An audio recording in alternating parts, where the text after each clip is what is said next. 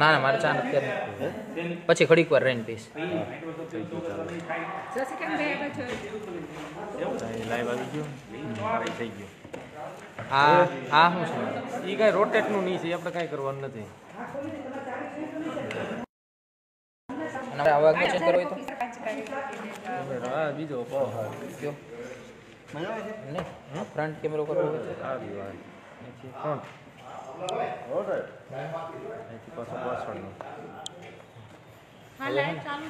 તમે લિંક સાહેબ વોટ્સએપ તમારે જે ભાવ લગાડવો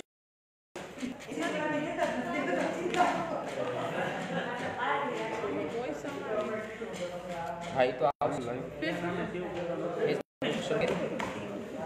ક્યાં બેસાડો હું ફ્રી થઈ ગયો બોલો ત્યાં જ સર ભલે બેઠા આઠ જણા કનેક્ટ થઈ ગયા એ કોમ્પ્યુટરમાંથી તો હવે લિંક કોને લાઈવ બે વસ્તુ ઈ જ કરનાર હે? હા લાઈવ પેલા આ સ્નેપ મૂકી દઉં સ્ટેન્ડ તમે ઇન્ટ્રોડક્શન આપશો? જાની સાહેબ આવશે. તો જાની સાહેબ તમે અહીં આવતા નહીં. તમે ઇન્ટ્રોડક્શન આપશો પછી હું એનું લોકેશન ફેરવી બીજું સાહેબ સરમાં તમારે માઇક્રોસોફ્ટ ટીમ ચાલુ થઈ ગયું?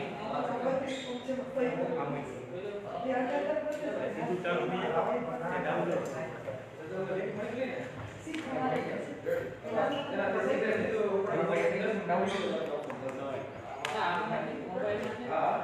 સાહેબ ઓલામાં છે ને? એનસીસી ના બીજા મારી જે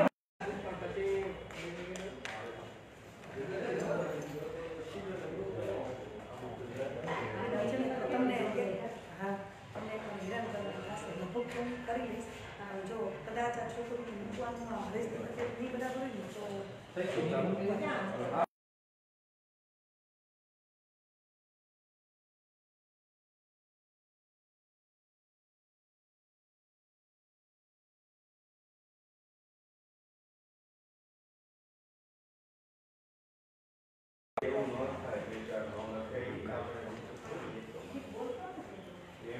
તો વગર વેબ આને સામે લેવું સામે. નાની સાહેબને લઈ ગયું. નહીં એ ટીમ્સ નથી સાહેબ તો ટીમ્સમાં કેવું એ લાઈવ છે ફેસબુક તો ટીમ્સમાં આનાથી આવશે ને? હા. બરોબર. આમાં ચાલુ કરું.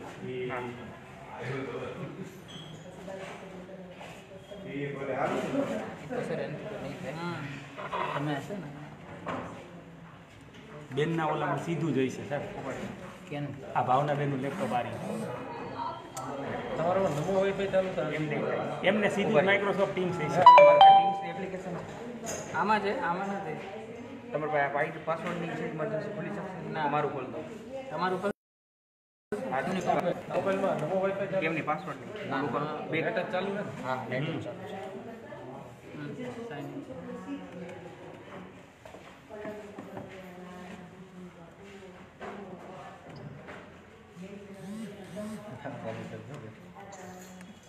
સાહેબ આ છે?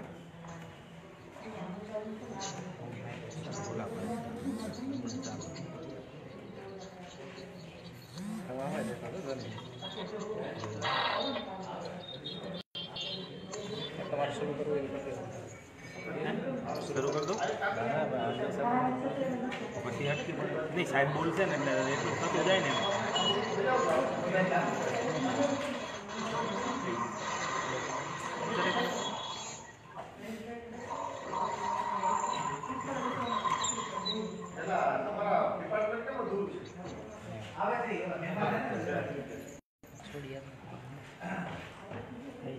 છેલ્લી ટાઈમ તો છેલ્લો રાણા મારો પાસવર્ડ આ રહ્યો. મારું ખોલ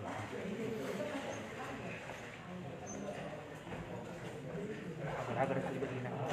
આગળ બદલી નાખો વેબ ક્યાંથી હશે?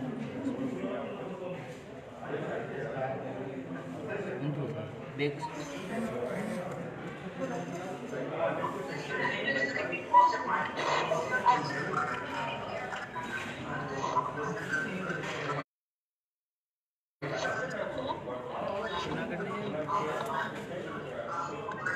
થાય બેક એટ ધ રેટ રાખીને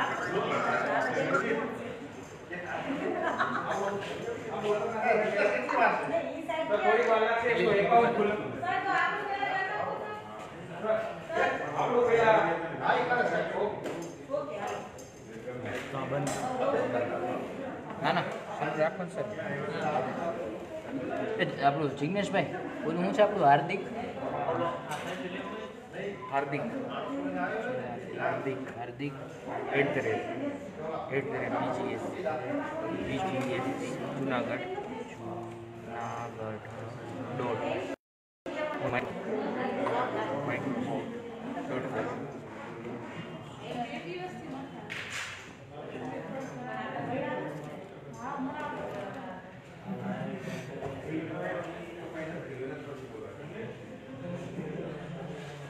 મારું સ્ટેમ લઈ આવું એટ ધ રેટ કરું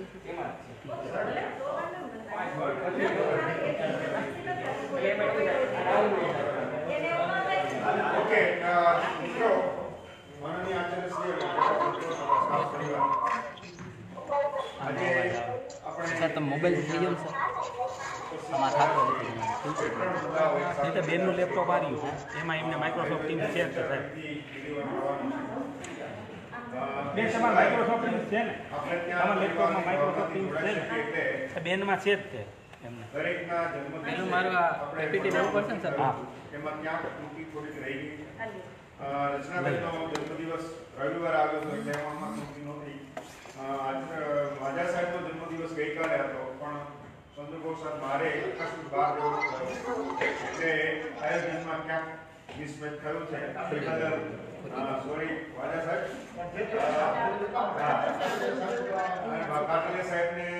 થઈ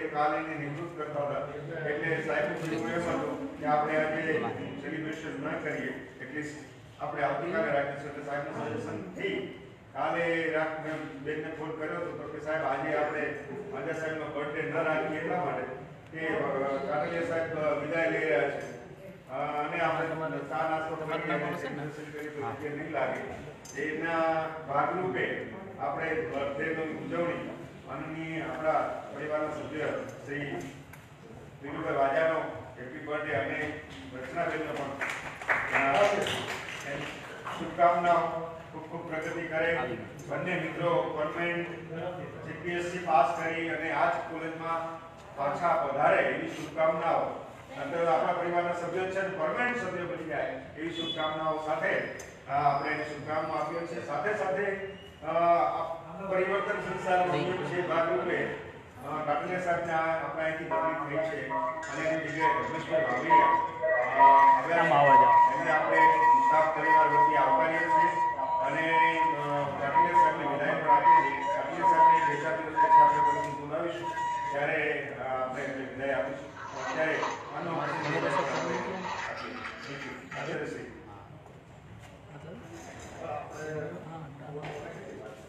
સર આપણું થઈ ગયું છે ને? સાહેબ કરીએ સર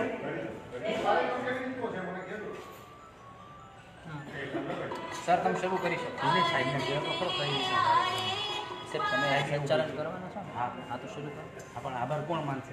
કોણ તમે જ તમે સારું લાગે ને. હા તો. બરોબર? અને સાહેબને તો કહી દો આ રીતનું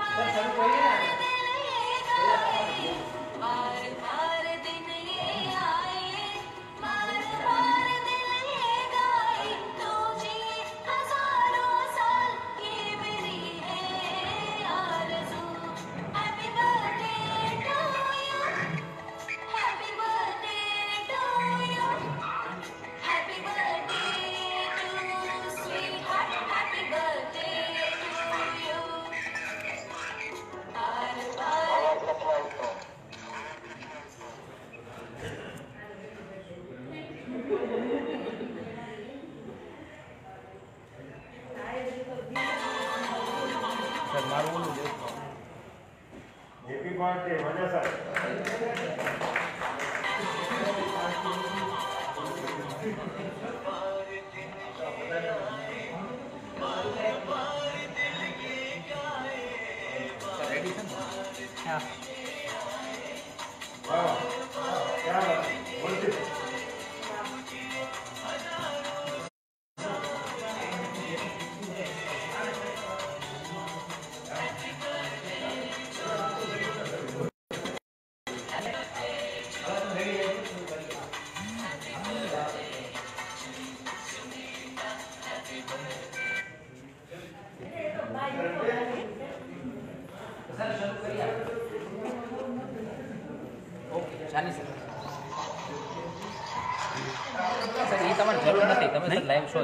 જ ના. એ અચ્છા જરૂર ઓલા માઇક્રોસોફ્ટ ટીમ્સમાં નથી નથી. ભલે ના. તમે તમારો મા- હા, ભલે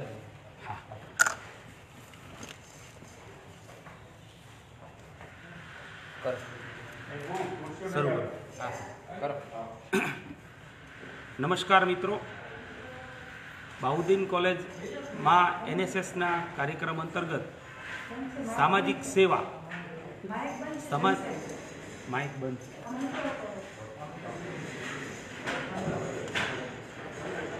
હવે બોલો. હાલો. હવે સંભળાય છે? નહીં આવતું નથી સર. નથી આવતો અવાજ. અહીંયાથી. બોલો. હલો. નમસ્કાર. બાઉદીન ગવર્મેન્ટ આર્ટ્સ કોલેજ ના એનએસએસ વિભાગ દ્વારા વર્તમાન પરિસ્થિતિ આપણે કોરોનાના સંક્રમણ કાળને વટાવી ચૂક્યા અને આ હજી કોરોના ગયો નથી. એટલે કોરોનાના આ કપરા કાળની અંદર માણસ પોતાની હ્યુમેનિટી પાવર એટલે કે રોગ પ્રતિકારક શક્તિ વધારે એ વિષય ઉપર આજે આપણે આ કાર્યક્રમ યોજ્યો છે. શરૂઆતમાં હું આ બાઉદ્દીન ગવર્મેન્ટ આર્ટ્સ કોલેજના પ્રિન્સિપાલ ડૉક્ટર પીવી બારસિયા સાહેબને વિનંતી કરું કે બારસિયા સાહેબ ઉદ્બોધન કરે પ્લીઝ બારસિયા સાહેબ હા સર. લઈ જાઓ.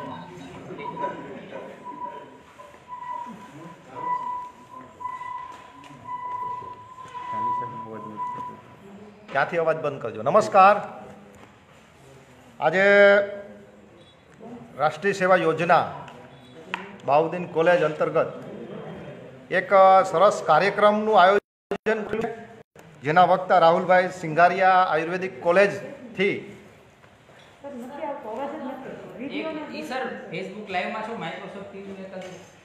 પધારેલ છે? અને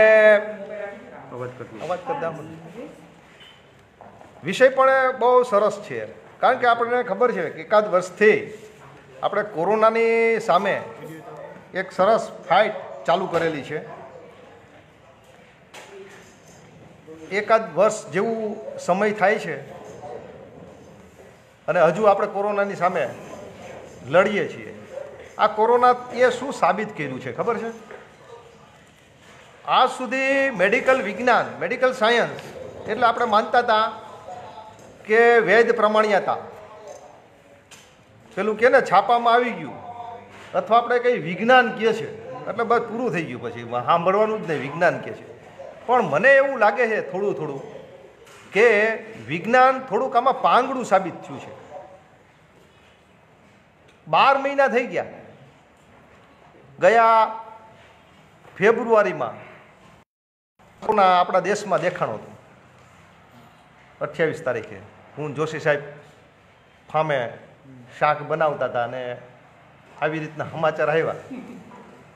ત્યારે તેમ લાગ્યું કોરોના ચાઇનામાં છે, ભારતમાં નહીં, ભારતમાં આવ્યું ડબલ્યુએચઓ એમાં માથું નાખ્યું અને અમેરિકા, ફ્રાન્સ, ઇટાલી એ જબરજસ્ત જર્મની એની અંદર એનો હુમલો થયો અને આખું વિજ્ઞાન જગત કામે લઈ ગયું જોવાનું એ છે કે ડબલ્યુએચઓએ એમ કીધું કે પેલા બેક્ટેરિયું આવું છે ને ગરમીમાં મરી જાય છે ને અમુક સેલ્સિયસ ડિગ્રી તાપમાન આવે ત્યારે આ થઈ જાય તે થઈ જાય. આવું ઘણી બધી વાર્તાઓ આપણે સાંભળી, પણ એવું કાંઈ નીકળ્યું નહીં. હજુ શંકાસ્પદ તો ઘણું બધું છે. હેન્ડલને પકડીએ તો એ હેન્ડલને પકડવું હોય તો એ અઠ્યાવીસ દિવસ સુધી ત્યાં એના બેક્ટેરિયા રહીએ અને કોરોનામાં માણસ ઘવાઈ જાય, મરી જાય, આ બધી વસ્તુઓ છે. પણ વિજ્ઞાને જે વસ્તુ કીધી, એ આમ કહીએ ને કે ટકોરા ઉપર સાચી ઠરી હોય, એવું થયું નહીં. એટલે આ કોરોનાનું એક મોટું સારી બાબત કહી કે ખોર, ખરાબ બાબત કહીએ તો એ થાય કે મેડિકલ સાયન્સ ઉપરથી માણસનો થોડો વિશ્વાસ ડગી ગયો.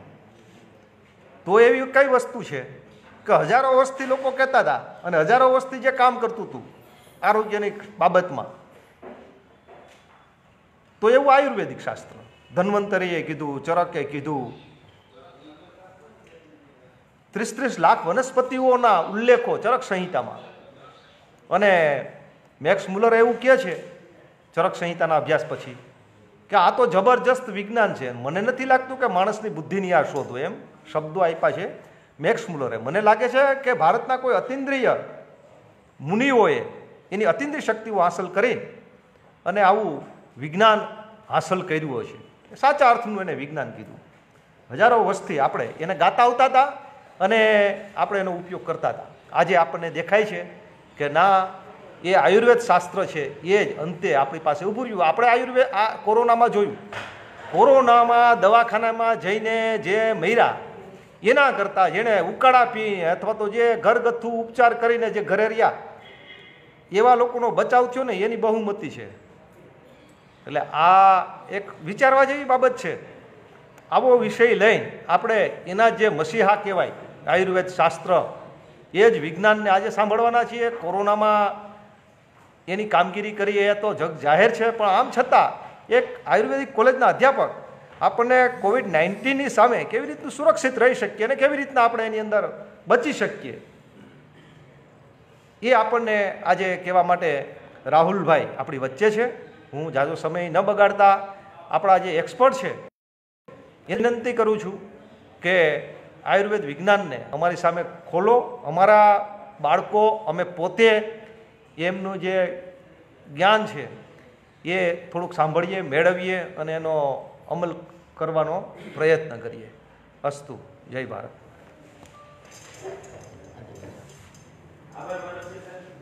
અમને સતત ભારતીય સાહેબનું માર્ગદર્શન મળતું રહે છે અવાજ આવે છે? હા. સાહેબ આની કોડી આવે આની. ચાલુ કરો એ નહીં મારું. નથી આવતી નથી આવતી. એ તો તમને આવે અચ્છા. હા. તો બારસિયા સાહેબનું સતત માર્ગદર્શન મળતું રહે છે, જેથી અમને આવા આવા કાર્યક્રમો કરવાનો ઉત્સાહ રહે છે. બારસિયા સાહેબ, ખૂબ ખૂબ આભાર. ડૉક્ટર રાહુલભાઈ સિંગડિયા એ એમણે બીએ એમએસ અહીંયા જુનાગઢમાં જ કર્યું. પછી માસ્ટર ડિગ્રી એમણે આયુર્વેદિક કોલેજ જામનગરમાં એ એમડી થયા. એમડીની અંદર એમણે ટર્મિનોલોજીસ્ટ ચામડી અને એના ઉપર થતા ડાઘ. એના ઉપર એમનું સંશોધન છે. પછી આગળ જતાં એમનું એક પુસ્તક પણ છે કે સિરાસિસ એને લગતું એટલે ખૂબ જ, અને એમનું જ્ઞાન ધરાવે છે. પહેલાં એ એમડી કોલેજની અંદર અધ્યાપક હતા. પછી જામનગર જોડિયા એ ત્યાં એક વર્ષ પીએચસી સેન્ટરમાં હતા. એમણે મેડિકલ ઓફિસર તરીકે, પછી જીપીએસસી પાસ તરીકે પાસ કરીને એ અહીંયા જુનાગઢની આયુર્વેદિક કોલેજમાં જ્યાં અભ્યાસ કરતા હતા, ત્યાં જ એ સરસ નોકરી કરે છે. અને બીજું વધારે એટલા માટે આ વિષય અને એટલે આ પસંદ કર્યું કે એમને પોતે કોરોનાની ડ્યુટી કરવા એ રાજકોટ ગયા હતા. એટલે અનુભવ છે એમને કે ખરેખર આ કોરોના કેવી રીતે વકરે છે કઈ બાબતોનું ધ્યાન રાખવું, પણ આપણી રોગપ્રતિકારક શક્તિ એવી વધારીએ, આપણે યુદ્ધમાં જઈ તો બખ્તર પહેર્યું હોય, તો વાંધો ન આવે, ગમે એવા ઘા ઝીલી શકાય. એટલે એવું તો શું અમે ધ્યાન રાખીએ, એ માટે માર્ગદર્શન માટે આપણે એમને વધારે સાંભળીએ. અને આ પછી તર એમને સાંભળીને આપણે પ્રશ્નોત્તરી રાખશું. તમારા મનમાં જે કંઈ પ્રશ્નો હોય એ રાખજો. અને પછી આપણે સાહેબને પ્રશ્નો પૂછશું. પ્લીઝ રાહુલભાઈ તમારું માઇક થેન્ક યુ જાની સાહેબ. આજના કાર્યક્રમના ચેરમેન માનનીય આચાર્ય શ્રી બારસિયા સાહેબ, ત્યાર પછી સંચાલક શ્રી જાની સાહેબ અને પ્રોગ્રામ ઓફિસર શ્રી રાજીગુરુ સાહેબ, સર્વ સ્ટાફ અને વિદ્યાર્થી મિત્રો. Myself doctor Rahul Singadiya lecturer government Ayurveda college Junagadh તો આજનો આપણો વિષય છે કોવિડ નાઇન્ટીન ઇમ્યુનિટી અને આયુર્વેદ.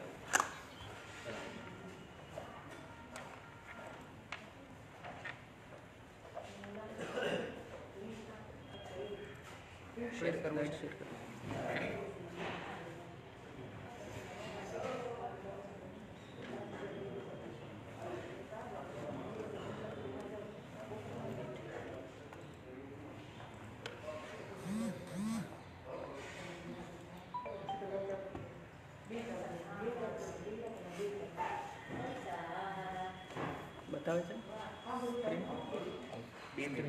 થોડી મિનિટ વાર લાગશે જો સાઠ સેકન્ડ પાછળ શેર કરી અહીંયા જે થશે ને અહીંયા સ્ક્રીન શેર કરી જ સર આમાં વાર લાગશે. આમાંથી પ્રોપર શેર હા સર આરામથી ફેસબુકમાં છે આમાં નથી આવતું શેર થયું છે કે ફેસબુકમાં આવે છે, સર. સર, ફેસબુકમાં હા, દેખાય ફેસબુકમાં આવે છે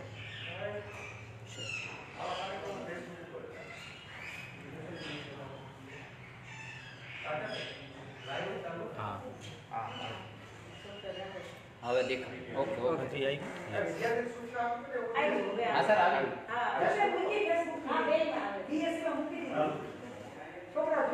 ઓકે. તો આજનો આપનો વિષય છે કોવિડ નાઇન્ટીન ઇમ્યુનિટી અને આયુર્વેદા. શરૂઆત કરીએ આપણે. આપણા હેલ્થના આયુષ્યના જે દેવતા છે ભગવાન ધન્વંતરી તો એમના દીપ પ્રાગટ્યથી શુભમ કરોતુ કલ્યાણમ આરોગ્યમ ધનસંપદ શત્રુબુદ્ધિ વિનાશાય દીપ જ્યોતિ નમોસ્તુતે હવે આપણે બધા હિસ્ટ્રીના વિદ્યાર્થીઓ છીએ, તો એટલા માટે શરૂઆત આપણે હિસ્ટ્રીથી કરીએ. હિસ્ટ્રી જે છે, ભારતની હિસ્ટ્રી જ્યારે હું સ્ટડી કરતો હતો. ત્યારે મને એવો સવાલ થતો કે આટલી બધી હિસ્ટ્રી ભણીને કરું છે શું? ખોટે ખોટું મેમરીમાં આપણે એને સ્ટોર કરવું પણ ભવિષ્યમાં જ્યારે આપણે આ હિસ્ટ્રીનું નોલેજ છે, એ ઘણી બધી જગ્યાએ કામ આવે છે.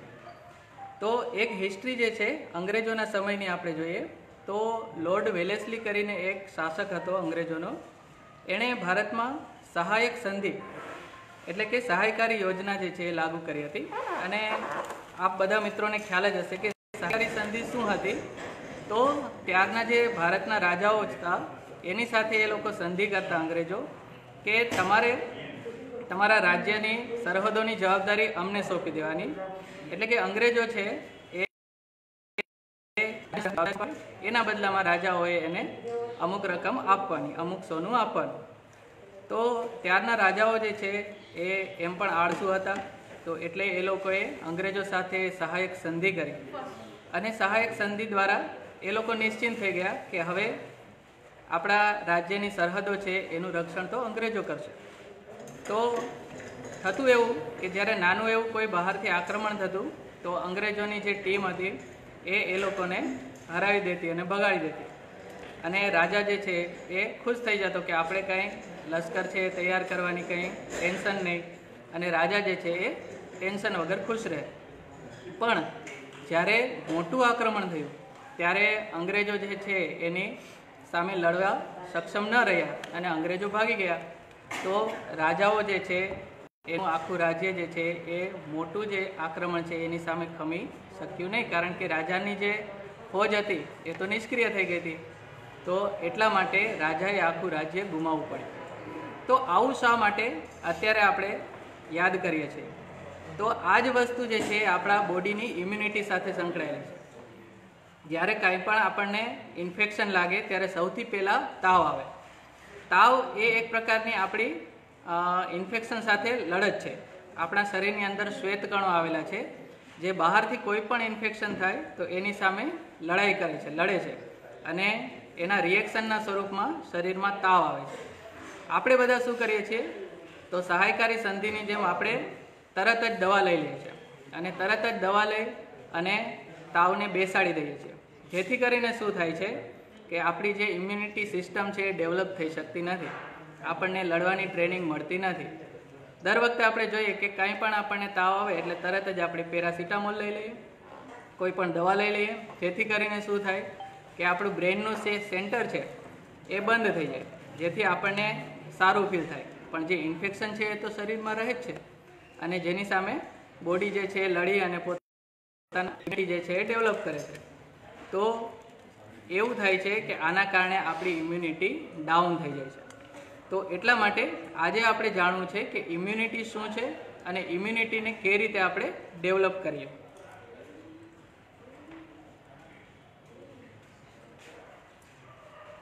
ઇમ્યુનિટી એક પ્રકારનું રક્ષા કવચ છે જે આપણને બહારના કોઈ પણ ઇન્ફેક્શન છે એની સામે રક્ષણ આપે. હવે આ ચિત્ર જોઈએ. શું છે? તો પોપાઈને જ્યારે આપણે પાલક ખવડાવીએ છીએ અને પોપાઈમાં તાકાત આવી જાય છે. તો આપણે એવું ધારીએ છીએ કે ઇમ્યુનિટી એવી વસ્તુ છે કે જે કોઈ પણ એક દવા લઈએ અને આપણામાં તરત જ તાકાત આવી જાય. ખાસ કરીને કોવિડ નાઇન્ટીન પછી ઘણા બધા પેશન્ટ એવા આવતા અને કહેતા કે, સાહેબ, કાંઈક એવી દવા આપો કે અમારી ઇમ્યુનિટી છે સ્ટ્રોંગ થઈ જાય. તો આ ચિત્ર એટલા માટે અહીંયા તમને બતાવીએ છીએ કે ઇમ્યુનિટી જે છે એ કંઈ એવી વસ્તુ નથી કે જે એક વખત ખાઈએ અને તરત જ આપણને તાકાત આવી જાય. ઇમ્યુનિટી જે છે એક આખી પ્રોસેસ છે અને એ પ્રોસેસ જે છે એ આજે આપણે સમજશું. આયુર્વેદમાં શરીરના ત્રણ પ્રકારના બળ બતાવ્યા છે. ત્રણ પ્રકારની બળ એટલે કે ત્રણ પ્રકારની ઇમ્યુનિટી એક જે છે સહજ, બીજી જે છે કાલકૃત અને ત્રીજી જે છે એ યુક્તિકૃત. સંસ્કૃત વર્ડ છે આપણે સિમ્પલ ભાષામાં સમજશું. સહજ એટલે શું? સહજ એટલે નેચરલી જે ઇમ્યુનિટી આપણને મળે. એટલે કે માતા પિતામાંથી બાળકને નેચરલી જે ઇમ્યુનિટી મળે, કે જન્મતાની સાથે જ બાળક જે છે એ દરેક જે આપણે અમુક વ્યક્તિએ જોઈએ તો એની ઇમ્યુનિટી આપણને શારીરિક બળ જે છે આપણને વધારે લાગે. જ્યારે અમુક લોકોનું બળ જે છે આપણને ઓછું લાગે. તો આ જન્મતાની સાથે જ જે આપણા અંદર બળ રહેલું હોય છે ઇમ્યુનિટી રહેલી હોય છે, એ છે. બીજી જે ઇમ્યુનિટી છે એ કાલકૃત છે, એટલે કે ઋતુઓ મુજબ છે. હવે આપણા દેશમાં ત્રણ પ્રકારની ઋતુઓ જે છે, શિયાળો, ઉનાળો, ચોમાસું બદલાતી રહે છે અને જેમ ઋતુઓ બદલાય, એમ આપણે ખોરાકમાં આપણા વ્યવહારમાં પણ ચેન્જ કરવો પડે. અને એ રીતે આપણે ચેન્જ લાવી અને જે ઇમ્યુનિટી ડેવલપ થાય એને કાલકૃત કહેવાય. અને ત્રીજી ઇમ્યુનિટી જે છે, એ છે યુક્તિકૃત. યુક્તિકૃત એટલે એવી આપણે યુક્તિઓ કરીએ કે જેના કારણે આપણું શરીર જે છે, એની ઇમ્યુનિટી ડેવલપ થાય. જેમ કે રેગ્યુલર આપણે યોગ કરીએ, પ્રાણાયામ કરીએ, આસનો કરીએ, કોઈ પણ એવા દવાઓ છે, ચ્યવનપ્રાશ વગેરે, જે આગળ આપણે જોઈશું કે કોવિડ નાઇન્ટીનમાં કઈ કઈ દવાઓથી આપણી ઇમ્યુનિટી જે છે એ વધારે ડેવલપ થાય. તો આ જે ત્રીજી ઇમ્યુનિટી છે એ યુક્તિકૃત છે. તો હવે, પહેલી ઇમ્યુનિટી જે છે એ આપણે વધારે એના ઉપર કાંઈ કરી શકતા નથી. પણ સેકન્ડ જે છે એ છે કાલકૃત. તો કાલકૃતમાં આયુર્વેદમાં દિનચર્યા બનાવી છે. દિનચર્યા એટલે સવારથી લઈને સાંજ સુધી આપણે એવું શું કરીએ? જેથી કરીને આપણું શરીર સ્વસ્થ રહે, તંદુરસ્ત રહે. તો સૌથી પહેલી વસ્તુ આવે છે, સવારે વહેલું ઉઠવું. આયુર્વેદમાં કહ્યું છે કે સવારે બ્રાહ્મ મુહૂર્તમાં ઉઠવાનું છે. સૂરજ ઉગે એની પહેલાં આપણે ઉઠી જવાનું છે. ખાસ અત્યારે શિયાળામાં તો ઉઠવાની બધાને આળસ થતી હોય છે. પણ જ્યારે આપણે સવારે વહેલા ઉઠી જઈએ અને ત્યારે આપણા શરીરનું બળ જે છે, આપણા શરીરની સ્ફૂર્તિ જે છે, સૌથી વધારે હોય છે. ખાસ કરીને વિદ્યાર્થીઓ માટે સવારે વહેલા ઉઠીને વાંચો તો સૌથી વધારે યાદ રહે. એ જ રીતે સવારે વહેલા ઉઠો તો શરીર માટે સૌથી સારું છે. તો એટલા માટે સવારે વહેલું ઉઠી જવું જોઈએ. આપણે નાનપણથી જ એવું શીખાડીએ છીએ પણ કે રાતે વહેલા જે સુએ વહેલા ઉઠે વીર, બળબુદ્ધિને ધન વધે, સુખમાં રહે શરીર. તો આપણા વડવાઓએ આ શીખાડ્યું છે, પણ આપણે એને આપણા જીવનમાં લાવવાની જરૂર છે. ત્યાર પછી હા, બે ઉદાહરણો તમને બતાવીએ. એક છે અક્ષય કુમાર અને મોદીજી. અક્ષય કુમારના ઇન્ટરવ્યૂ તમે જોયા હશે, તો અક્ષય કુમાર છે એ કેટલા વર્ષોથી સવારે ચાર વાગે ઉઠી જાય સવારે ચાર વાગે ઉઠી અને એક્સરસાઇઝ કરે. મોદીજી પણ સવારે વહેલા ઉઠીને એક્સરસાઇઝ કરે. તો જુઓ કે આટલી ઉંમરે પણ તેઓ ફિટ છે હેલ્ધી છે. તો વહેલા ઉઠવાના ખરેખર ફાયદા જે છે એ આપણી સામે ઘણા બધા એવા ઉદાહરણો તમને મળશે, જે વહેલા ઉઠવાના ફાયદા આપણને બતાવી શકે. ત્યાર પછી આયુર્વેદ શું કહે છે કે ઉઠીને સૌથી પહેલું કામ શું કરવાનું છે? તો સૌથી પહેલાં આપણે વિચારવાનું છે કે આજે મારું પાચન થયું છે કે નહીં? કાલે રાત્રે જમ્યું હતું તો પાચન બરોબર થયું છે કે નહીં? એ વિશે આપણે વિચારવાનું છે. આપણે વિચારો કે આખા દિવસમાં આપણે પોતાના વિશે કેટલું વિચારીએ છીએ? આપણી હેલ્થ વિશે કેટલું વિચારીએ છીએ? તો એટલા માટે સૌથી પહેલાં ઉઠી અને પહેલું કામ કરવાનું આપણી જાત વિશે વિચારવાનું છે. ત્યાર પછીની જે પ્રોસેસ છે, બરાબર છે, જે છે શૌચ, એટલે કે ટોયલેટ હવે લેટ્રિનમાં ખાસ કરીને અત્યારે આપણે પાશ્ચાત્ય સંસ્કૃતિને ફોલો કરીએ છીએ અને ટ્રેન્ડ બનતો જાય છે કે જે ટોયલેટ છે એ પાશ્ચાત્ય આપણે યુઝ કરવા માંડ્યા છીએ. પણ સાયન્ટિફિકલી પણ એ પ્રૂવ થઈ ગયું છે કે એ જે ટોયલેટ છે એ પ્રોપર નથી. એના કારણે જે કાંઈ પણ રોગો છે એ વધે છે. હરસ, મસા, ભગંદર જેવા રોગો છે એ આપણા દેશમાં પહેલાં એટલા બધા વિદેશોમાં વધારે હતા, કારણ કે એ પ્રકારનો એ લોકો યુઝ કરતા હતા. સોરી તો એટલા માટે ખાસ આપણે ઇન્ડિયન જે છે એ ટોયલેટ યુઝ કરવું જરૂરી છે. સેકન્ડ વસ્તુ, સવારે ઉઠીને ગરમ પાણી પીવું જરૂરી છે. હવે સવારે ઉઠીને ગરમ પાણી પીએ તો શું થાય?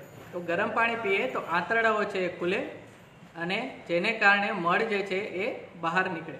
જો ઠંડુ પાણી પીએ તો આંતરડાઓ સંકોચાય. તો એટલા માટે સવારે ગરમ પાણી પણ પીવું જરૂરી છે. લેટ્રિનની જે પ્રોસેસ છે, એ થોડીક સાયકોલોજીકલ છે. ઘણા બધા લોકોને કોઈને બીડી પીવાથી પ્રેશર આવતું હોય છે. બરાબર છે? ઘણાને મોબાઈલ યુઝ કરે તો પ્રેશર આવે. તો એટલા માટે આવી બધી ખરાબ આદતો કરતાં જો ગરમ પાણી પીવામાં આવે તો એ હેલ્થ માટે પણ સારું છે. અને પેટ સાફ થઈ જાય એ માટે પણ સારું છે. થર્ડ જે છે એ છે બ્રશ. બ્રશ કરવું. બરાબર છે? દાંત સાફ કરવા. હવે એમાં દાંત સાફ કરવા માટે આપણે કેવું ટૂથ ટૂથપેસ્ટ વાપરવું જોઈએ? તો આયુર્વેદમાં એવું કહ્યું છે કે દાંતમાં જે જમ્સ છે, એ જમ્સ ત્યારે જ દૂર થાય જો ટૂથપેસ્ટ છે એનો સ્વાદ જે છે કડવો હોય અથવા તીખો હોય. હવે વિચારો, આપણું જે ટૂથપેસ્ટ છે કેવું છે? મીઠું. જો આપણે પ્રોપર કોગળા ન કરીએ, તો એ ટૂથપેસ્ટ જ આપણા દાંતની અંદર ફસાઈ જાય અને એના કારણે જમ્સ ઉલટાના વધે. તો એટલા માટે આ જે બ્રશ કરવાની ટેકનિક છે, એમાં આપણું પેસ્ટ જે છે, કેવું હોવું જોઈએ? તીખું, કડવું, એ ટાઈપનું હોવું જોઈએ. ખાસ કરીને આયુર્વેદમાં દાંતણ વાપરતા. દાંતણ જે છે, એ ખાલી દાંત સાફ કરવા માટે જ નહીં, પણ દાંતની એક્સરસાઇઝ કરવા માટે પણ જરૂરી છે. આપણે શું કરીએ છીએ? ખાલી દાંત ઘસીએ છીએ. દાંતની એક્સરસાઇઝ થતી નથી. અને ઉત્ક્રાંતિનો નિયમ જો તમે જાણ્યો હોય, તો ઉત્ક્રાંતિ એ કહે છે કે જે આપણે કામનું ન હોય, એ ધીમે ધીમે લુપ્ત થઈ જાય. જો આપણે દાંતની એક્સરસાઇઝ ન કરીએ, તો ધીમે ધીમે દાંત પણ લુપ્ત થતા જાય, નબળા થતા જાય. અમે ઘણા બધા એવા નાના પેશન્ટ જોઈએ છે કે હજી પાંચ સાત વર્ષના હોય, તો પણ ચાર પાંચ દાંત એમના સડી ગયા હોય. તો પ્રોપર દાંતનું હાઇજીન ન હોય, એના કારણે આવું થાય છે. તો એટલા માટે દાંતમાં ખાસ કરીને દાંતણ વાપરવું જોઈએ અને દાંતણ યુઝ ન કરી શકીએ તો બ્રશમાં પેસ્ટ પણ એવું વાપરવું જોઈએ કે જે તીખું હોય અથવા કડવું હોય. એક છે ઓઇલ પુલિંગ એટલે કે તેલના કોગળા કરવાના. તેલ જે છે એ મોઢામાં ભરી રાખવાનું જેને કારણે દાંતના પેઢાને મજબૂતી મળે. આ પણ આયુર્વેદમાં બહુ વર્ષો પહેલાં જણાવેલું છે અને હવે તમે જોશો કે ઘણી બધી મલ્ટીનેશનલ કંપનીઝ છે, એમના ધ્યાનમાં આવ્યું છે અને એ લોકો આનું માર્કેટિંગ સ્ટાર્ટ કરી દીધું છે. તો સાદું તલનું તેલ પણ આપણે મોઢામાં ભરીને રાખીએ, જેને કારણે શું થાય કે દાંતના પેઢા અને દાંતને મજબૂતી મળે. ત્યાર પછી છે અભ્યંગ, જેને કહેવાય છે મસાજ. જ્યારે નાનું બાળક હોય, ત્યારે એને પાંચ સાત વર્ષ સુધી બધા મસાજ કરી દેતા હોય તલના તેલનું અથવા ઘણા બધા મેડિકેટેડ ઓઇલ આવી ગયા છે કે જેનું મસાજ કરે છે. પણ ત્યાર પછી ત્યાર પછી આપણે બંધ કરી દઈએ છીએ. તો શું ખાલી બાળકોને જ મસાજની જરૂર છે? તો એવું નથી. આયુર્વેદમાં કહ્યું છે કે દરેક વ્યક્તિએ અભ્યંગ કરવું જોઈએ. અભ્યંગ એટલે આખા શરીરમાં તલના તેલનું માલિશ કરવું જોઈએ. કોઈક વાર તમે માલિશ કરાવો તો તમને ખ્યાલ આવે કે એકદમ રિલેક્સ ફીલ થાય. અને શરીરને જે જરૂરિયાતો જે છે એ ઘણી વખત ખોરાકમાંથી ન મળતી હોય, તો એ માલિશ દ્વારા પણ મળી રહે. તો એટલા માટે માલિશ જે છે એ રેગ્યુલર કરવું જોઈએ, જેના કારણે શરીર જે છે એ મજબૂત થાય. ખાસ કરીને જો રોજ આપણે આખા શરીરમાં માલિશ ન કરી શકીએ, તો અઠવાડિયે એક વખત રવિવારે એવો રાખવાનો કે જ્યારે રજા હોય. અને રોજ ખાસ કરીને માથામાં અને પગના તળિયે માલિશ ખાસ કરવાની. માથામાં અને પગના તળિયે. નેક્સ્ટ આવે છે એક્સરસાઇઝ કસરત. આજના સમયમાં ખાસ જરૂર છે કસરતની. આજનો સમય જે છે, આપણે લગભગ બધા બેઠાડું થઈ ગયા છે. અને બેઠાડું લાઈફસ્ટાઈલ છે, એમાં ખાસ એક્સરસાઇઝની જરૂર છે. કારણ કે બેઠા બેઠા આપણે જે કાંઈ ખોરાક ખાઈએ છીએ, એનું પાચન પ્રોપર થાય નહીં. પાચન પ્રોપર ન થાય એટલે બધા જ પ્રકારની તકલીફો થાય. તો એટલા માટે એક્સરસાઇઝ જે છે, એ ખાસ જરૂરી છે. અને રેગ્યુલર એક્સરસાઇઝ જરૂરી છે. હવે ઘણાને અમે એક્સરસાઇઝનું કહીએ તો એ લોકો કહે કે હાલો અમે જીમ જોઈન કરીએ તો જીમ જોઈન કરવાની જરૂર નથી. પણ રેગ્યુલર દસથી પંદર મિનિટ એક્સરસાઇઝ કરવાની છે. જીમ જોઈન કરવામાં શું થાય? શરૂઆતમાં આરંભે શુરા હોય એટલે શરૂઆતમાં એક જીમ જોઈન કરે ને બે ત્રણ દિવસ એક્સરસાઇઝ કરે એકદમ ફૂલ અને પછી પછી થાકી જવાય. પછી બંધ કરી દે. તો એવું નથી કરવાનું. રોજ જેટલી તમારી કેપેસિટી હોય, એનાથી ઓછી, ભલે પાંચ મિનિટ, દસ મિનિટ, પણ હળવી એક્સરસાઇઝ કરવાની છે. પણ રેગ્યુલર કરવાની છે. રેગ્યુલર હળવી એક્સરસાઇઝ કરો, જેને એરોબિક એક્સરસાઇઝ પણ કહેવાય. જરૂરી નથી કે ડન પીલવાના. બરાબર છે? એકદમ હળવી એક્સરસાઇઝ જે તમને માફક આવે. સૂર્ય નમસ્કાર પણ ખૂબ જ સારા છે. તો રોજ સૂર્ય નમસ્કાર કરો અને રેગ્યુલર કરવાના છે. જેથી કરીને શરીરના દરેક અંગને એક્સરસાઇઝ મળે જેથી ડાયજેશન પ્રોપર થાય અને કોઈ પણ ખોરાક છે તમે સારી રીતે પચાવી શકો. હવે આંખોની રક્ષા માટે શું? તો આંખોની રક્ષા માટે અને ખાસ કરીને આજની જનરેશનમાં કે હવે બધાની પાસે મોબાઈલ થઈ ગયા છે અને આખો દિવસ બાળકોથી લઈને મોટા સુધી. મિનિમમ એકથી બે કલાક તો લોકો મોબાઈલમાં ગાળતા જ હોય છે. તો એટલા માટે આંખોનું રક્ષણ છે એ ખાસ જરૂરી બન્યું છે. તો આંખોના રક્ષણ માટે સુરમો આવે છે. સોવિરાંજન જેને સંસ્કૃતમાં કહેવાય અને આપણે સફેદ સુરમો, કાળો સુરમો અને આંખોમાં લગાવીએ એટલે આંખો બળે અને આંખોમાંથી પાણી નીકળે. અને એટલે આપણે લગાવતા ડરતા હોઈએ છીએ. પણ આંખો બળે, પાણી નીકળે તો જ એ ચોખ્ખી થાય. તો એટલા માટે આયુર્વેદમાં રેગ્યુલર સુરમો આંજવાનું કહ્યું છે. સુરમો આંજે જેના કારણે આંખોમાં જે કાંઈ પણ પોઈઝન હોય ટોક્સિક હોય, એ મટીરિયલ બધું આંસુ આંસુ વાટે બહાર નીકળી જાય. તો એટલા માટે રોજ સુરમો આંજવો જોઈએ. ઘણા બધા માર્કેટમાં અંજન, નેત્રબિંદુ વગેરે પણ આવે છે, જેના કારણે આંખોનું બળ વધે છે. ત્યાર પછી એક પ્રોસેસ છે, નસ્ય, જેમાં નાકમાં તેલના ટીપા નાખવાના હોય છે. રોજ બે બે ટીપા બે નાકના પોયણામાં નાખવાના હોય છે. ખાસ કરીને તમે કોવિડની સ્થિતિમાં સરકારે જે આયુષની ગાઈડલાઈન બહાર પાડી હતી, એમાં પણ એમણે નસ્ય કરવાનું કહ્યું હતું. તો નસ્ય કરવાની એક આખી મેથડ છે, જે તમે યુટ્યુબ ઉપર ગોતશો તો પણ મળી જશે. તો એ પ્રોસેસ દ્વારા નાકમાં સિમ્પલ તલના બે ટીપા પણ તમે રેગ્યુલર નાખી શકો. જેને કારણે શું થાય? તો ચહેરા ઉપરના બધા જ અવયવો છે, એને પોષણ મળે. ખાસ કરીને જે લોકોને હેરફોલની તકલીફ વધારે હોય તો એના માટે પણ નસ્ય ખૂબ જ સારું છે. એના કારણે વાળના મૂળમાંથી એને પોષણ મળે અને હેર જે છે એ મૂળમાંથી કાળા થાય અને મૂળમાંથી વધે, લાંબા થાય. એ ઉપરાંત આંખોને, ચહેરાને અને દાંતને, ચહેરા ઉપર જે કાંઈ અવયવો છે એ બધાને એનાથી પોષણ મળે. તો આ જે છે એ નસ્ય પ્રોસેસ છે. ત્યાર પછી હવે જે છે એ ખોરાકની વાત છે. તો ખોરાક જે છે એ મેઇન છે.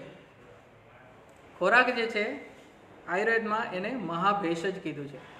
જો તમે ખોરાક વિશે વિચારતા થઈ જાઓ કે કયા પ્રકારનો ખોરાક લેવો, શું લેવું, કેટલું ખાવું, ક્યારે ખાવું, કેવી રીતે ખાવું, જો આ બધી આપણને ખબર હોય, તો આપણે દવા લેવાની જરૂર જ ન પડે.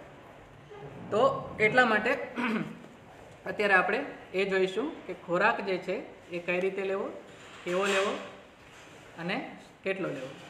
તો કેટલો લેવો? સૌથી પહેલાં જે આપણું આ પેટ છે, સ્ટમક છે, તો આયુર્વેદમાં એવું કહ્યું છે કે સ્ટમકને આપણે ત્રણ પાર્ટમાં ડિવાઈડ કરી નાખવાનું. એવું વિચાર લેવાનું કે આના ત્રણ ભાગ છે. તો કેટલું ખાવું? તો એક ભાગ જે છે એ સોલિડ ફૂડ હોય, એક પાર્ટ લિક્વિડ હોય અને એક પાર્ટ જે છે એ ખાલી રાખવાનું. બરાબર? આપણે થમ્સઅપની બોટલ જોઈએ છે તો એમાં પણ થોડીક ઉપર જગ્યા કારણ કે ગેસ જે છે એના માટે. તો એટલા માટે આપણું પેટ જે છે એ પણ ગમે એટલી ભાવતી વસ્તુ હોય, પૂરેપૂરું ખાવાનું નહીં. એને થોડુંક ખાલી રાખવાનું. થોડુંક એટલે કેટલું? ત્રીજા ભાગનું.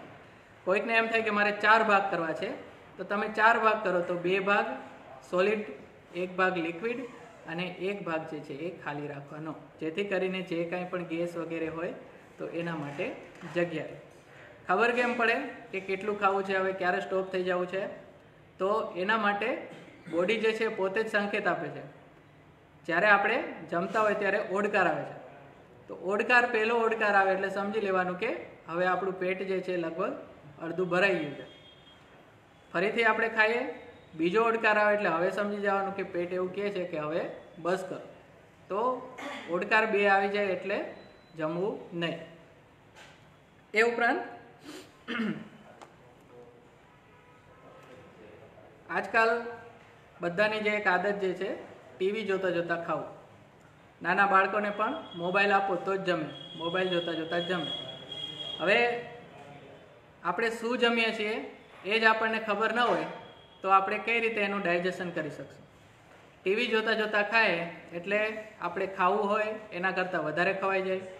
ટીવીમાં ઘણી વખત સસ્પેન્સ આવતું હોય કોમેડી આવતું હોય, તો આપણે એટલા બધા ખોવાઈ જાય.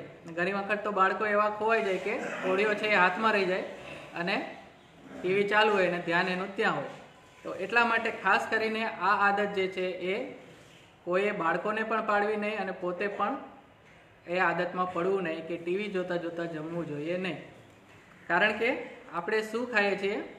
એ આપણને ખ્યાલ હોવો જોઈએ, કેટલું ખાઈએ છીએ, પેટનો વિચાર કરીને ખાવું જોઈએ તો એટલા માટે ટીવી જોતાં જોતાં ખાવું સૌથી ખતરનાક છે. તો એટલા માટે આ આદત જે છે એ ચેન્જ કરવી જોઈએ. ત્યાર પછી પાણી જે છે એ કેટલું પીવું અને ક્યારે પીવું? તો એના માટે ખાસ કરીને પાણી જે છે એ ઉકાળીને પીવું જોઈએ. ખાસ કરીને આપણે જુનાગઢનું અત્યારનું વાતાવરણ છે તો પાણીને કારણે ઘણી બધી સમસ્યાઓ સર્જાય છે. કારણ કે મોસ્ટ ઓફ પાણી જે છે બોરનું આવે છે ક્ષારવાળું આવે છે. એટલે જુનાગઢના પાણીને કારણે પથરીની ઘણી બધી સમસ્યાઓ થાય, હેરફોલની સમસ્યાઓ થાય, સ્કિન ડાર્ક થઈ જાય, આ બધી સમસ્યાઓ આ પાણીને કારણે થતી હોય છે. અને આપણે ફિલ્ટર પાણી પીતા હોય છે, પણ ફિલ્ટર પાણી પણ ઉકાળીને પીવું જોઈએ. ઉકાળવાથી શું થાય છે? તો પાણી ઉકાળીએ, એને કારણે એ પ્રોપર રીતે ડાયજેસ્ટ થઈ શકે. તો એટલા માટે કોવિડમાં પણ ગાઈડલાઇનમાં ઉકાળેલું પાણી પીવાનું કીધું છે. તો આખો દિવસ પાણી જે છે એ ઉકાળીને જ પીવું જોઈએ. ઉકાળેલું પાણી જે છે, એ પ્રોપર રીતે આપણને ડાયજેશન કરે અને જે આપણા શરીરમાં કફ વધે છે, તો એ કફ જે છે એને વધવા દે નહીં. તો એટલા માટે પાણી ઉકાળેલું પીવું જોઈએ. બીજું, પાણી ક્યારે પીવું જોઈએ? જમીને પાણી જે છે એ વધારે પીવું જોઈએ નહીં. જમીને ખૂબ જ ઓછું પાણી પીવું જોઈએ. જમ્યાના વચ્ચે છાશ પી શકો, પાણી પી શકો. જે આપણે લિક્વિડ કીધું છે એક પાર્ટ તો એમાં છાશ, પાણી વગેરે જમ્યાની વચ્ચે લેવાનું.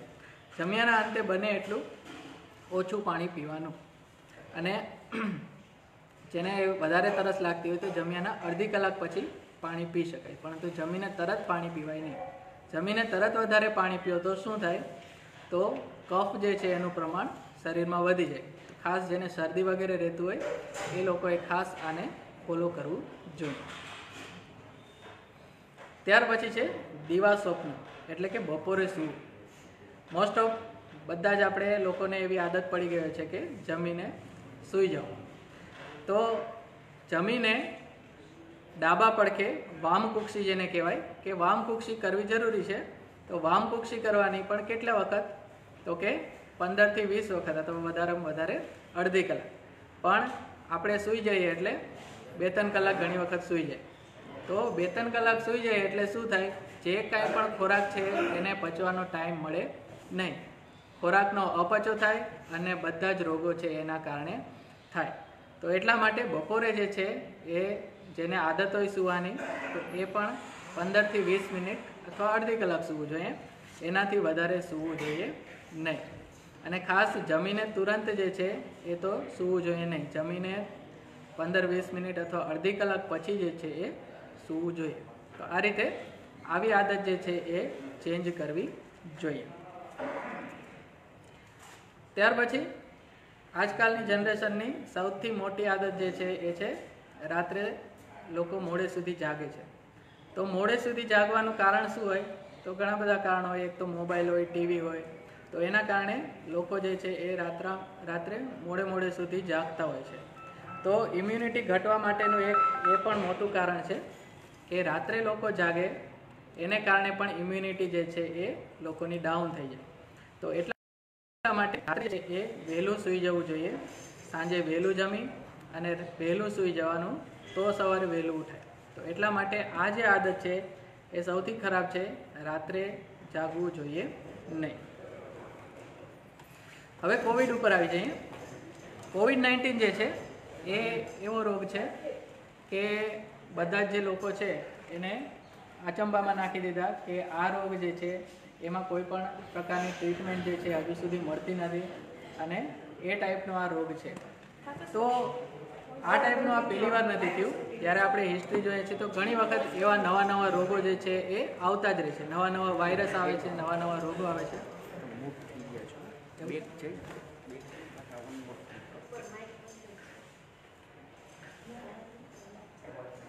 આમાં તો શેર બતાવે નહીં માઇક બંધ છે નહીં શેર નહીં. અને માઇક્રોસોફ્ટ ટીમ્સનો બે ક્લિક સોફ્ટ સ્ટેરિંગ કરી અને માઇક શરૂ કરી. વિદ્યાર્થી મિત્રો શાંતિ રાખો. અહીંથી સેટિંગમાં જે ચેન્જ થયું છે એના માટે પ્રયત્ન કરીએ છીએ. હા, વીડિયો બધી જ બે મિનિટમાં શરૂ થઈ જશે.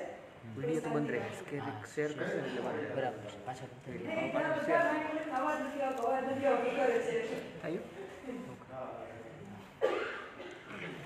એમાં આમાં એમાં એવું બીજો મોબાઈલ ચાર્જિંગ કાર્યક્રમ live ફેસબુકમાં પણ ચાલુ છે, તો જે વિદ્યાર્થી મિત્રોને મેસેજ કોઈ problem હોય, એ ફેસબુકમાં પણ જોડાઈ શકે છે. એના માટેની link આપણે BSc જનરલ ગ્રુપમાં share કરેલી છે. ઉપર કરીને તમે ફેસબુકમાં થઈ શકશો. શરૂ?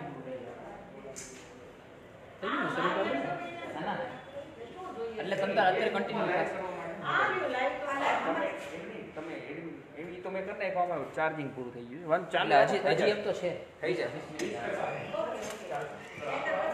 ઓકે ચાલો હવે. આગળ આપણે જોઈએ. તો વાત આપણે એ કરતા હતા કે રાત્રે જાગવું જે છે એ સૌથી વધારે અહિતકર છે. તો એટલા માટે ખાસ કરીને રાત્રે જે છે એ વહેલું સૂઈ જવું જોઈએ. હવે નેક્સ્ટ જે આપણે આવીએ છીએ એ છે કોવિડ નાઇન્ટીન જે છે. તો આ પ્રકારના રોગો છે એ જરૂરી નથી કે નવો રોગ છે. બરોબર છે? અને આ પ્રકારના રોગ જે છે, ભવિષ્યમાં નહીં આવે.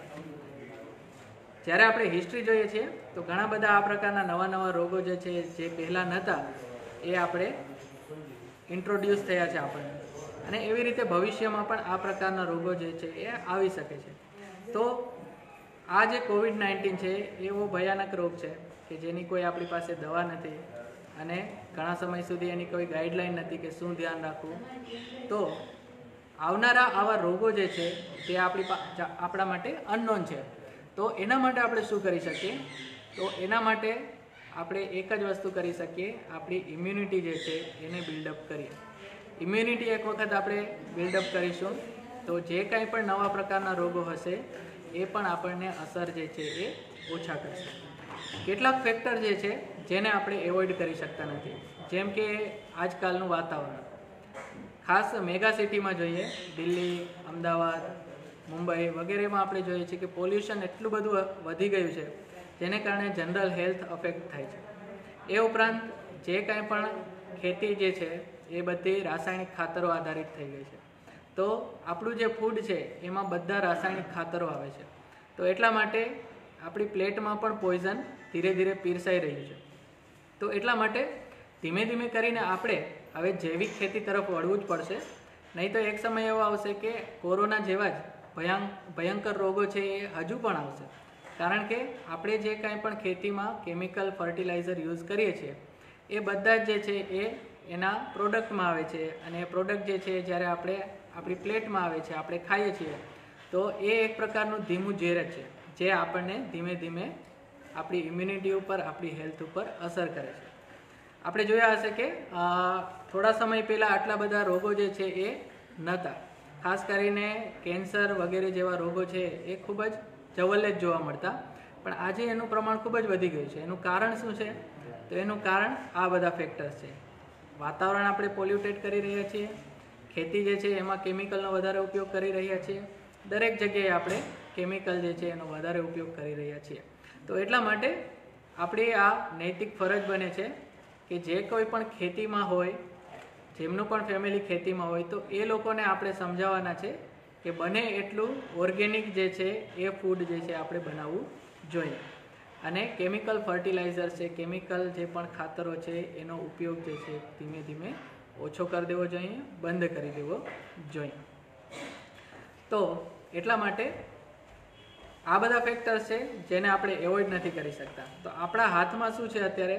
તો આપણા હાથમાં છે આપણી ઇમ્યુનિટી અને ડૉક્ટર જે છે,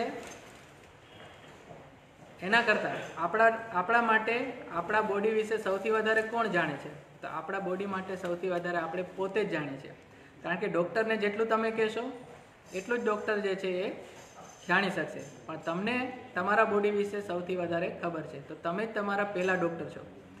એટલા માટે હંમેશા પોતાના તરીકે વિચારવાનું છે. ખાસ કરીને આજની જનરેશનમાં બધાને ફાસ્ટ ફૂડ જે છે એનું પ્રમાણ ખૂબ જ વધી ગયું છે અને લોકો જે છે, બરાબર છે, બહારનું ફાસ્ટ ફૂડ છે એ વધારે પ્રિફર કરે છે. પણ એ ફાસ્ટ ફૂડ જે છે, વધારે મસાલાવાળું, વધારે તીખું અને એની જે ક્વોલિટી જે છે એના કારણે પણ લોકો વધારે માંદા પડે છે. એટલે જે કોવિડ જે છે એ વખતે આવ્યું એના કારણે આપણને ઘણું બધું શીખવા મળ્યું. કે ઘરનું ખોરાક જે છે, એ જ સારો છે. તો લોકો જે છે એ થોડાક સમય સુધી, છ સાત મહિના સુધી તો હોટલ્સ વગેરે બધું બંધ જ હતું. તો ઘરનું ફૂડ જ લેતું હતું. તો શા માટે આપણે નેક્સ્ટ જે છે, એના માટે પણ આપણે એવું નક્કી નક્કી કરીએ કે ઘરનો જ ખોરાક લેશું, તાજું જ બનાવેલું ખાશું. ઘણા કેવું હોય છે કે વાસી ખાતા હોય છે. બીજું ઘરમાં બે ત્રણ વસ્તુ એવી છે કે જે ખરેખર આપણા માટે કાંઈ કામની નથી. જેમ કે ફ્રીજ બરાબર છે? આપણું જે એટમોસ્ફિયર એવું છે કે આપણને તાજું બધું વસ્તુઓ મળી રહે છે. તો ફ્રીજમાં કાંઈ આપણે રાખવાની જરૂર નથી. બરાબર? ફ્રીજમાં રાખીએ એટલે આપણે વાસી ખાવાના છીએ. તો વાસી જે છે એ વસ્તુ આપણે ખાવાની નથી. રાતનું સવારે નહીં, સવારનું સાંજે નહીં. વાસી ખાઈએ એટલે પણ બધા રોગો થાય. બીજું એસી એસી જે છે એ પણ ખૂબ જ ખતરનાક છે ઇમ્યુનિટી માટે. એસી જે છે, એના કારણે શું થાય છે કે આપણા રૂમમાં તો ટેમ્પરેચર ડાઉન થઈ જાય છે. પણ જ્યારે આપણે નેચરલ વાતાવરણમાં આવીએ, ત્યારે આપણને જેટલું ટેમ્પરેચર એના કરતાં વધારે લાગે.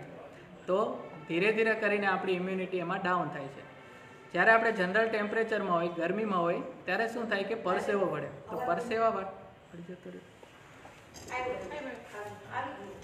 તો જનરલી આપણને પરસેવો વળે, તો પરસેવા વાટે બધા પોઈઝન છે શરીરમાંથી બહાર નીકળી જાય. એસીમાં શું થાય છે? પોઈઝન જે છે એ બહાર નીકળી શકતા નથી. એસીમાં આપણે રહીએ ટેમ્પરેચર ડાઉન હોય, તો ઠંડીમાં પરસેવો ઓછો વળે. એના કારણે શું થાય કે સવારે ઉઠીએ એટલે આપણને ફ્રેશનેસ લાગે. આપણને એમ થાય કે વાહ, એસીમાં તો મજા આવે છે. પણ જે શરીરની અંદરનું પોઈઝન છે, જે પરસેવા વાટે આખી રાતમાં નીકળવું જોઈએ, એ નીકળતું નથી. અને જેને કારણે એ પોઈઝન આપણા શરીરની અંદર જમા થાય છે અને લાંબા ગાળે આપણી ઇમ્યુનિટી છે એને ડાઉન કરે છે. તો એટલા માટે એસી પણ હેલ્થ માટે સારું નથી ફ્રીજ પણ સારું નથી.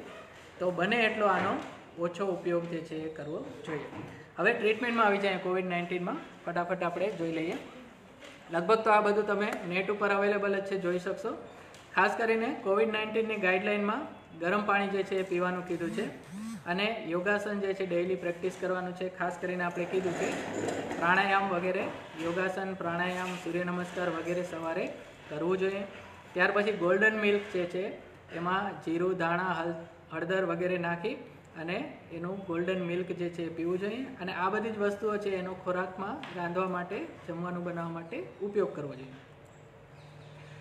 એ ઉપરાંત, જે આપણે કીધું હતું કે યુક્તિપૂર્વક જે ઇમ્યુનિટી વધે એના માટે અમુક દવાઓ છે કે જે આપણે લઈ શકીએ, જેમ કે ચ્યવનપ્રાશ. તો ચ્યવનપ્રાશ જે છે, એ ઇમ્યુનિટી બૂસ્ટર છે ઇમ્યુનિટી વધારે છે. ગોલ્ડન મિલ્ક જે છે, જે હળદરવાળું દૂધ જ છે. ગોલ્ડન મિલ્ક એટલે બીજું કાંઈ નથી. જે આપણા દાદી નાની જે આપણને પીવડાવતા એ જ છે. અને એક વસ્તુ છે હર્બલ ટી તો હર્બલ ટી જે છે, એમાં પણ બધી હર્બલ વસ્તુઓ, તુલસી અને એ બધું નાખી અને જે આપણે હર્બલ ટી બનાવીએ, તો એ પણ સારી છે. પણ જેમ મેં આગળ કીધું કે પોપાઈ જે છે એ ખાલી પાલક ખાઈને ઇમ્યુનિટી એક દિવસમાં વધારી દે એનામાં પાવર આવી જાય, તો એવું નથી કે ચ્યવનપ્રાશ એક ચમચી ખાધું અને ઇમ્યુનિટી વધી ગઈ. તો ઇમ્યુનિટી જે છે એ ધીમે ધીમે ડેવલપ થાય અને આ બધી આપણે દિનચર્યાનું પ્રોપર ફોલો કરીએ, ઋતુચર્યાઓને ફોલો કરીએ, તો આપણી ઇમ્યુનિટી છે એ પ્રોપર રહે અને લાંબા સમય સુધી આપણે રોગોથી બચી શકીએ. એ જ વસ્તુ છે.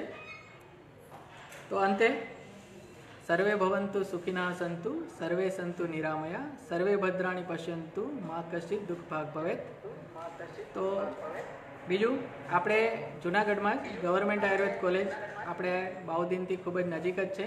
અને ત્યાં આપણે ચૌદ પ્રકારના અલગ અલગ વિભાગો છે અને બધા પ્રોફેશનલ એમડી ડૉક્ટરો છે, જે અલગ અલગ અનેક પ્રકારની ટ્રીટમેન્ટ જે છે કરે છે. એટલે કે બધા માટે આપણી પાસે ટ્રીટમેન્ટ અવેલેબલ છે ગવર્મેન્ટ છે અને ફ્રીમાં છે. તો એટલા માટે ક્યારે પણ કાંઈ જરૂરત હોય, તમે ચોક્કસ મુલાકાત લો અને સર્વે પોતાની તબિયતનું ધ્યાન રાખો. થેન્ક યુ જય ધન્વંતરી વિદ્યાર્થીઓ ને ખૂબ સરસ રીતે આપણને સરે જે છે, રાહુલ સરે, એ આપણને માર્ગદર્શન આપ્યું. કોવિડ નાઇન્ટીન ઇમ્યુનિટી એમના વિષયમાં. હવે આ સંદર્ભે કોઈ વિદ્યાર્થીને કાંઈ પ્રશ્ન હોય, તો એ સરને સીધા પૂછી શકે છે. કોઈ વિદ્યાર્થીને આ બાબતમાં, આ સબબ કોઈ પ્રશ્ન હોય, તો એ કરી શકે છે.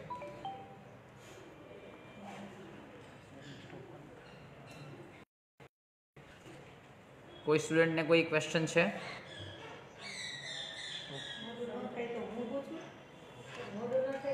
ઓકે અમારા આપણા સ્ટાફના જ મેમ્બર ભાવનાબેન કંઈક પૂછવા માગે છે.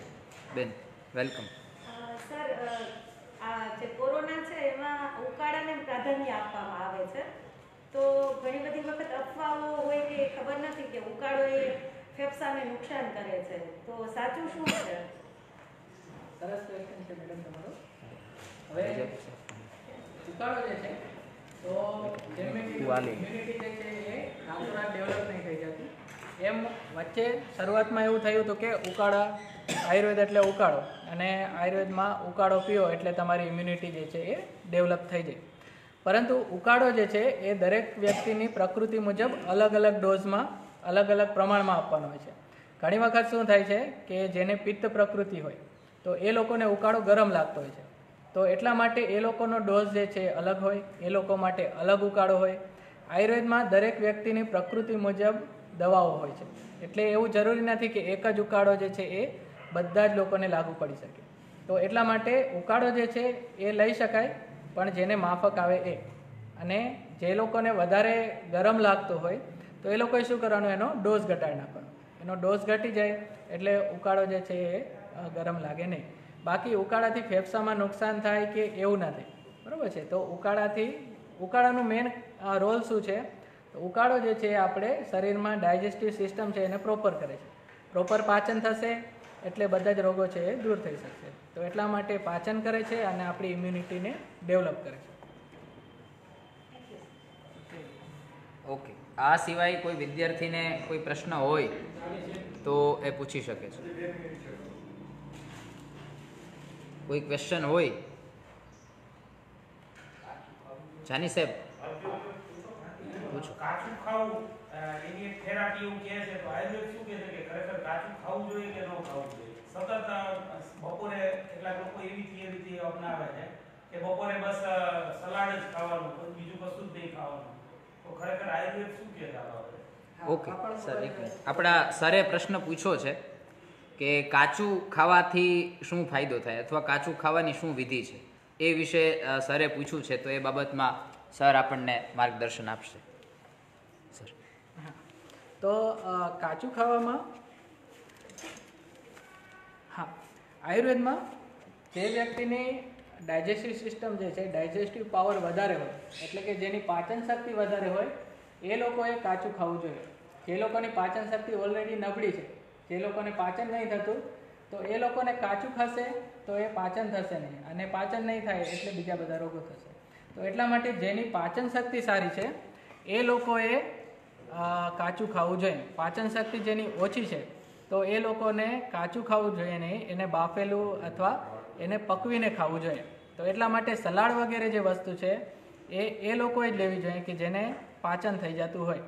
અને ઘણી વખત જેને વજન વધા ઉતારવું હોય, તો એ લોકો માટે કાચું જે છે એ સજેસ્ટ કરતા હોઈએ છે.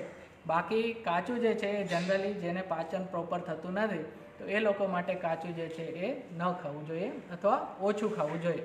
ખાલી કાચું ખાઈને આખો દિવસ કાઢવો એ યોગ્ય નથી. આયુર્વેદના મતે યોગ્ય નથી. આ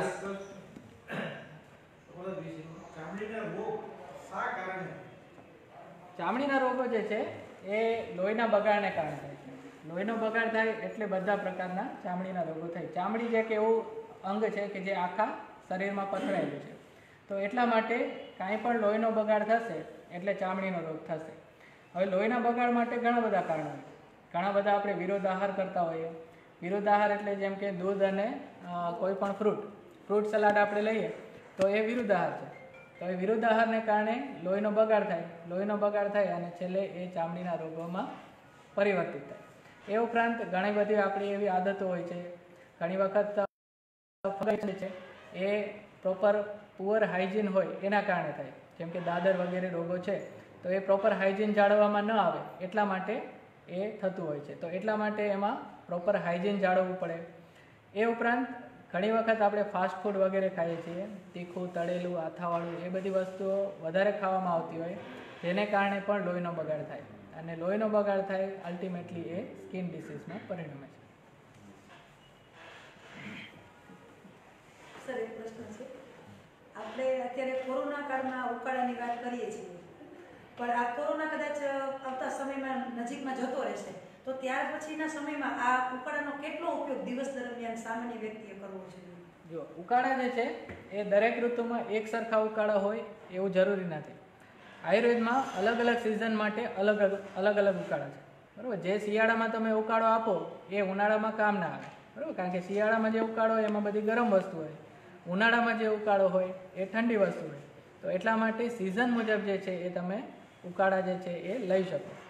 એ ઉપરાંત જે રેગ્યુલર તમે લેવું હોય, તો શિયાળામાં ચ્યવનપ્રાશ વગેરે લઈ શકો.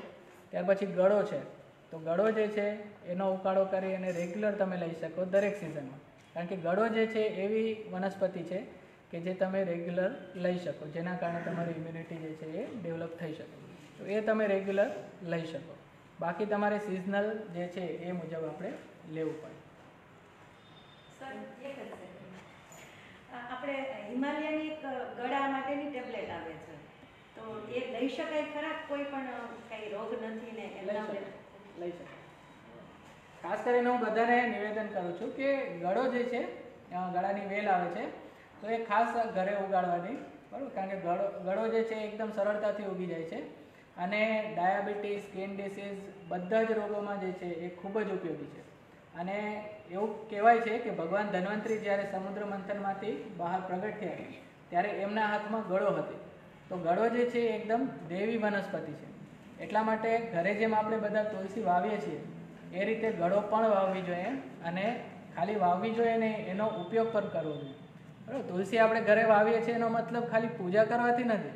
એ તુલસી જે છે આપણે રેગ્યુલર યુઝમાં લઈએ. એટલા માટે ઘરે વાવી છે તો એટલા માટે ગળો પણ ઘરે બધા જ વાવો.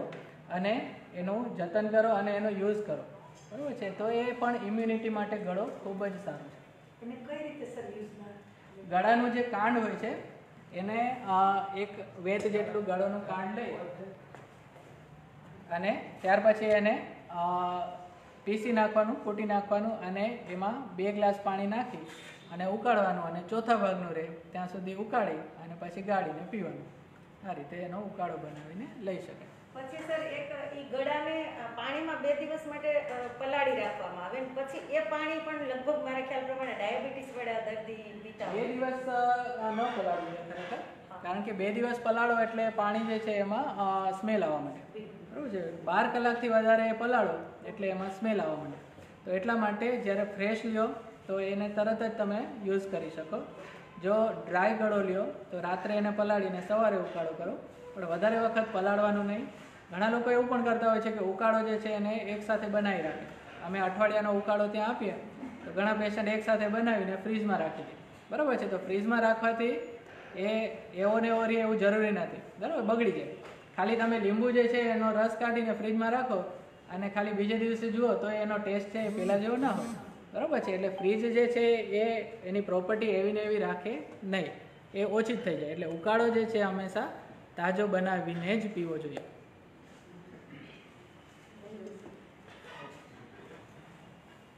ઓકે, તો હવે કોઈને એવું માનું છું કે કોઈને ક્વેશ્ચન નહીં હોય. સરે ઘણી જ સુંદર રીતે અને બહુ સ્પષ્ટ રીતે આપણને સમજાવ્યું કોરોના વિશે, કોવિડ નાઇન્ટીન વિશે.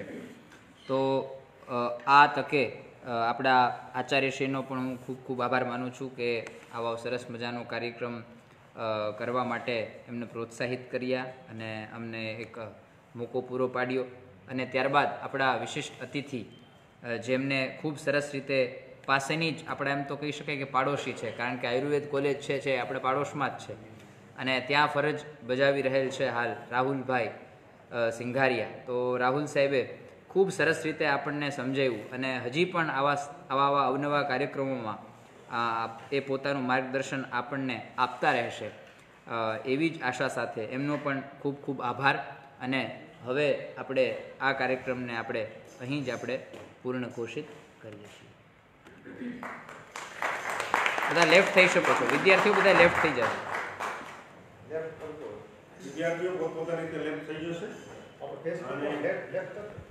ફેસબુકને ક્લોઝ કરી ફેસબુકમાં હજી ચાલે છે પાછળ છે બે મિનિટ.